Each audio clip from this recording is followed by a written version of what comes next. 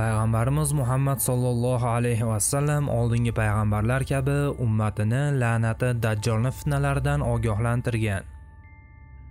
U zot hadislarda dajjolni ta'rifi va paydo bo'lishini shunchalik batafsil bayon etganki bunga shubha qilish mumkin emas. Rasululloh sollallohu alayhi vasallam aytdilar dajjolni tashqi qiyofasi xunuk va jirkanch. tabiatni o'zi uni yomonlashtirgan uni tashqi qiyofasi shaytonni eslatadi. uni atrofida shaytonlar bo'ladi. va uni izdoshlari shaytonlardir dajjol paydo bo'lganda unga qora libosli 70 ming yahudiy ergashadi.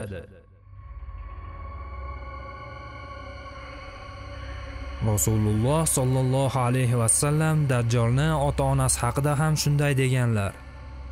Dajjolni ota onasi 30 yil davomida farzand ko'rmagan va shundan keyingina ular qiyshiq va foydasiz mavjudot bo'lgan farzand ko'radilar. uni ko'zlari yumiladi lekin yuragi uxlamaydi. uni ota onasi uzun bo'yli ularni terisi g'ayritabiiy oddiy odamlarnikiga o'xshamaydi. otasini burni uzun tumshuqqa o'xshaydi va onasini ko'kraklari katta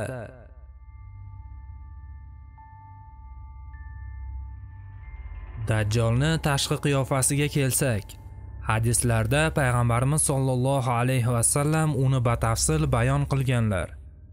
U paydo bo'lganda mu'minlar uni dajjol ekanligiga shubha qilishmaydi. U yashirin va tushunarsiz bo'lmaydi. U juda mashhur odamga aylanadi. Agar unga uzoqroqdan qarasangiz uni bo'yi uzun emas uni terisi qalin va qora. Boshi katta sochlari jingalak. Qurigan changning rangiga o'xshaydi.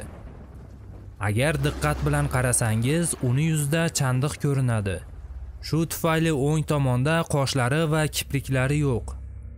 Go'yo ko'zlari o'yilgandek. Yana boshqa bir rivoyatda uni boshi kichik uzun shaklda deyilgan. U ko'rsatilgandek peshonasini markazida bir ko'z bilan emas balki ikkita ko'z bilan. Faqat bittasi ko'radi ikkinchisi ko'rmaydi. Chap ko'zi oynak kabi yashil rangda chirigan uzum yoki tupurilgan balg'amga o'xshaydi. Payg'ambarimiz muhammad sollallohu alayhi vasallam shunday degan uni ko'zlari orasida kofir deb yozilgan. bu yozuvni har bir mo'min o'qiy oladi xoh u savodli yoki savodsiz bo'lsin. Dajjolni ushbu sifatlari hech qanday shubha tug'dirmaydigan mutavotir darajasiga yetgan ishonchli hadislarda keltirilgan.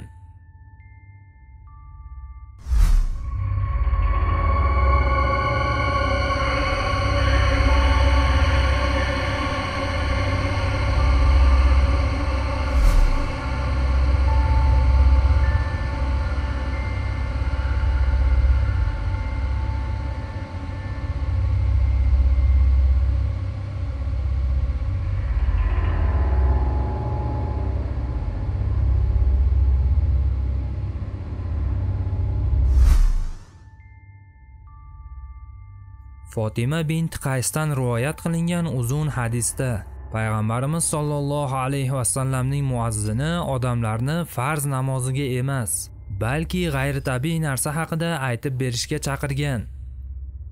U aytadi: Men masjidga kirib Rasululloh bilan namoz o'qidim va ayollar qatorida o'tirdim.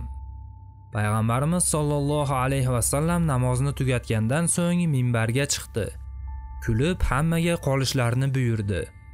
Va ulardan so'radilar bilasizlarmi men sizlarni nega chaqirdim? ular Alloh va rasuli bilguvchiroqdir dedilar. Payg'ambarimiz sollallohu alayhi vasallam dedilar. Men sizni yaqinlashib kelayotgan xavf yoki boshqa bir narsa uchun emas balki islomni qabul qilgan sobiq nasroniy tamimiy dariyni voqeasi. meni dajjol haqidagi gaplarimga tamomiy to'g'ri kelishini bildirish uchun chaqirdim. meni gaplarim garchi men dajjolni ko'rmagan bo'lsam-da u ko'rgan narsaga to'g'ri keladi. uni so'zlarini eshiting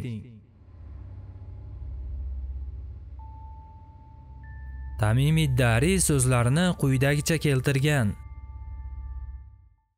men 30 ga yaqin birodarlarim bilan tijorat yuzasidan safarga chiqqan edim birdan dengizda bo'ron ko'tarildi.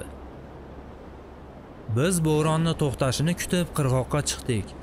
Shu vaqtda bizni oldimizga shaytonga o'xshagan hayvon keldi. Uni oldi orqasi qayerdaligini bilib bo'lmasdi. U o'zini jassosa deb tanishtirdi va dedi men bilan yuringlar. Anavi monastirda siz bilan suhbatlashishga mushtoq bo'lgan odam bor. Biz qo'rqqan bo'lsak-da bu hayvonni orqasidan bordik va monastirda qo'llarini bo'yniga bog'lab zanjirband qilingan katta baquvvat odamni topdik. Undan sen kimsan? deb so'radik. U dedi modomiki sizlar meni oldimga kelibsiz. O'zingiz haqingizda ayting. Va biz orolga qanday yetib kelganimizni aytib berdik.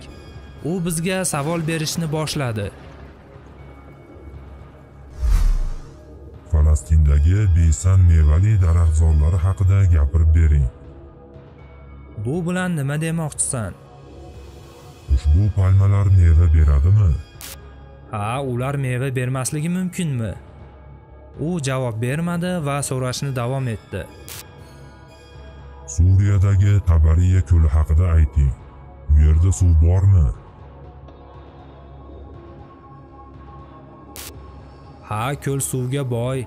Nima suv bo'lmasligi mumkinmi?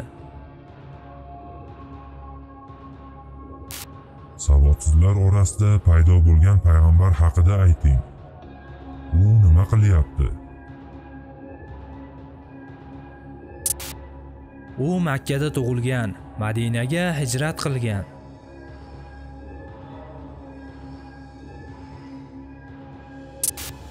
Arablar u bilan jang qildimi? Ha biz kurashdik lekin u arablar ustidan g'alaba qozondi va arablar unga bo'ysundilar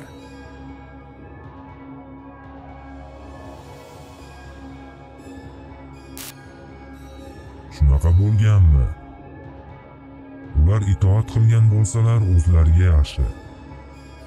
Men sizlarga o'zim haqimda aytib beraman. Men masih dajjolman. Chiqish uchun ruxsat kutyapman.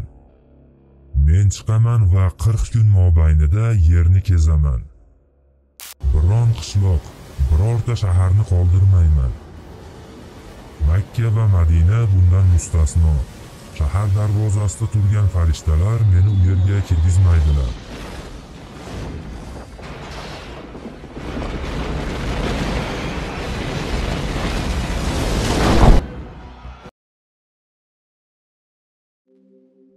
Keyin payg'ambarimiz sollallohu alayhi vasallam dedilar bu men sizga aytgan o'sha la'nati dajjoldir. Payg'ambarimiz sollallohu alayhi vasallam hadislarida uni chiqadigan joy haqida ham shunday degan. Dajjol sharqda xuroson deb atalgan yerda paydo bo'ladi. boshqa bir hadisda payg'ambarimiz sollallohu alayhi vasallam aytdilar. Dajjolga xuroson hududidagi isfahondan 70 ming yahudiy ergashadi yuqoridagilardan kelib chiqadiki la'natlangan dajjol payg'ambarimiz sollallohu alayhi vasallam davrida ham yashagan. Garchi payg'ambarimiz dajjol kelib chiqadigan joyni aniq aytgan bo'lsalardi. Dajjol o'zini e'lon qilmaguncha uni hech kim topa olmaydi. Boshqa dajjollar ham bo'lishi mumkinmi degan savollar bo'lsa ha mumkin. Biz hozir gapirib o'tgan dajjol ularni oxirgisi. Uni ismi masih dajjoldir va u 40 kun mobaynida yer yuzini fitnaga to'ldiradi. U bilan birga g'aflatda qolgan to'dalar bo'ladi. Boshqa dajjollarga kelsak payg'ambarimiz sollallohu alayhi vasallam ularni sonini 30 tani tashkil qilishini va ular odamlarni fitnaga solishini aytgan. Masalan olimlar buni abu bakr siddiq davrida bo'lgan o'zini payg'ambar deb e'lon qilgan musaylama kazzob singari deganlar. Hadislarda kelgan masih dajjol hali chiqmagan.